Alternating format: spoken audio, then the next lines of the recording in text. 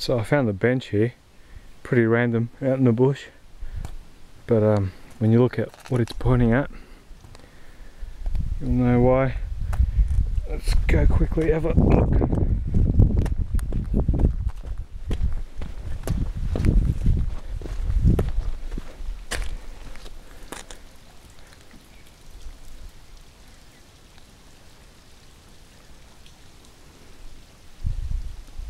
Huh. Mini Three Sisters.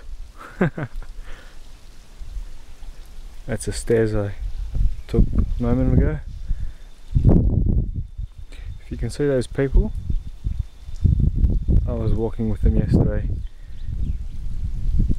out at the Beehive Pagoda.